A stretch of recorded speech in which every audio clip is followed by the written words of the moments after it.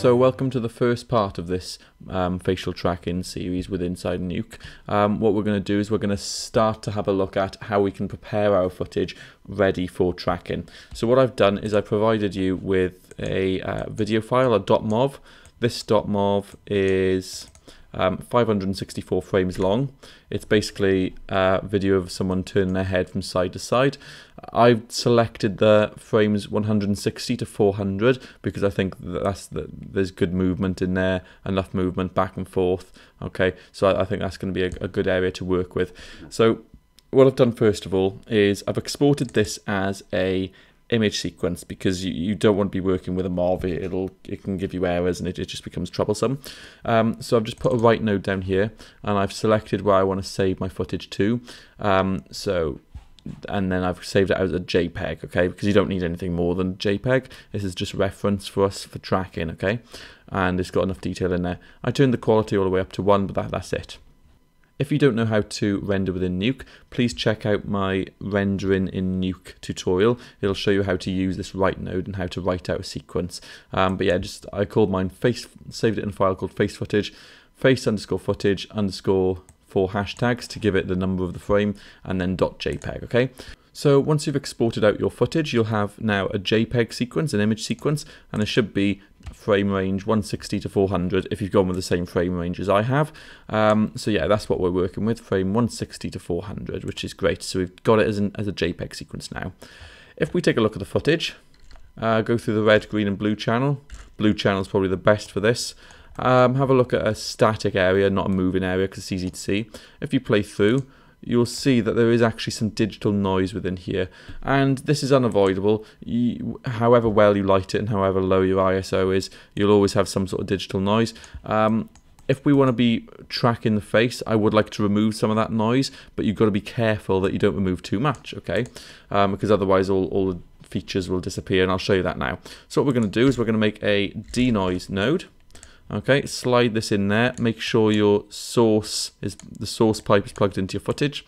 And you'll see it's got this little um, notice along the top. The noise input has changed. Move the analysis region to analyze noise or press lock noise analysis. Basically, what that means is we've got to move this into a suitable area. It'll give you a box, and I'm going to move this into a suitable area. I would go for my neck by there but what I won't do is I won't go on the face because it'll start removing the actual whiskers which are ac actual nice detail we could track. So if I denoise this uh, disable this node sorry you can see that it's actually taken out quite a bit too much there. It's getting rid of some of the blemishes and some of the whiskers which are going to be nice to track. What I'm going to do is I'm going to move this just to a sort of area by here um, I think that'll do, or maybe maybe the sort of shoulder area will do by here. Yeah, let's give that a go. Okay, and it's still, obviously, if we disable it, it's still doing it too much. So coming over to the node properties, our source is digital because this was recorded on uh, a sensor rather than film. Um, mod, you can leave noise modulus modulated and leave all this. I'm just going to come to the denoise amount and basically I'm going to take this, let's turn my node back on.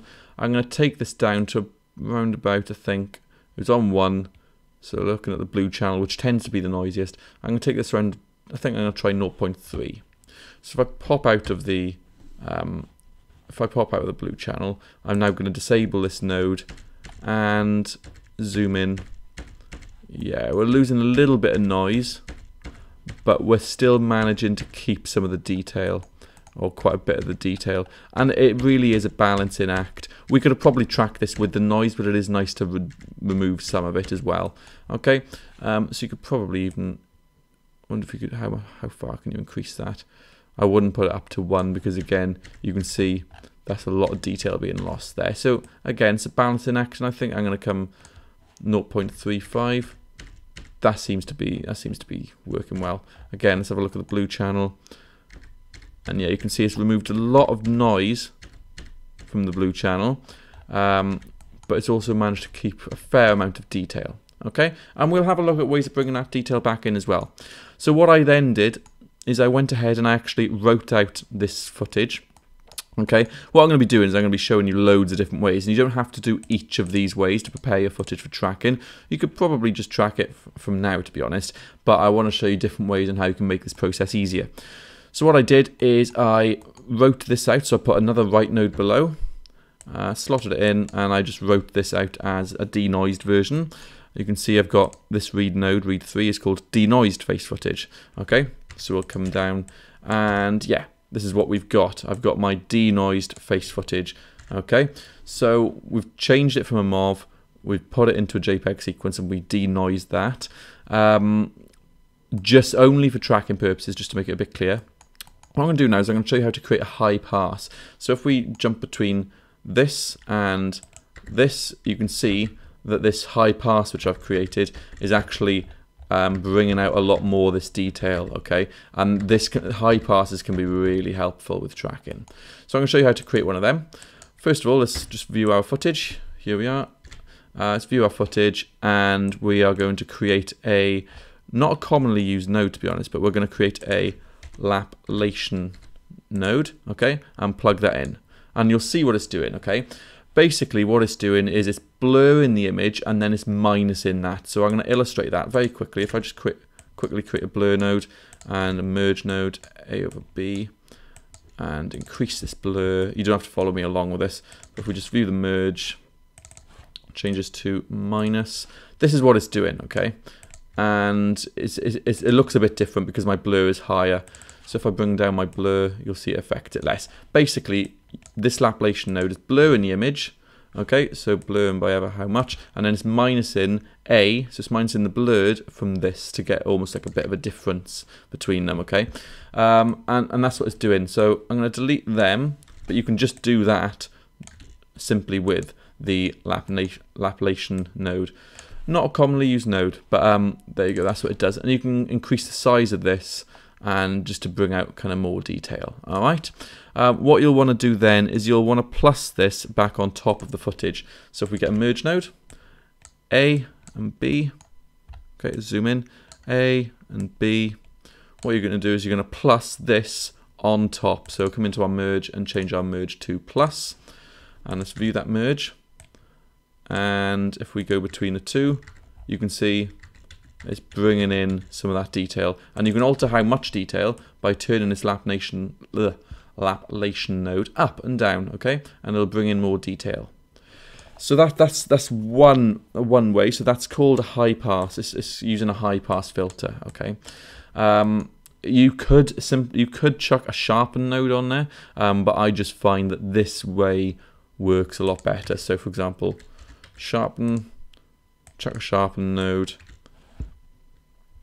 um, again, there's a lot of kind of conf not confusing, but there's a lot of different um, dials in here. I just prefer using using the way I did. It is up to you. You could use a sharpened node, but um, yeah, I, I would I would be careful of how much you push this. By the way, as well, just just be mindful. What I did then is, again, I got my write node and I wrote out a new sequence. Uh, again, so this is called face footage high pass.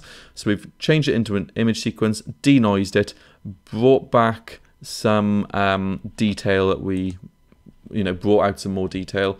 I then wrote that out again. And the next thing that you can do, again, you don't have to do all of these, but these are just different ways that you can.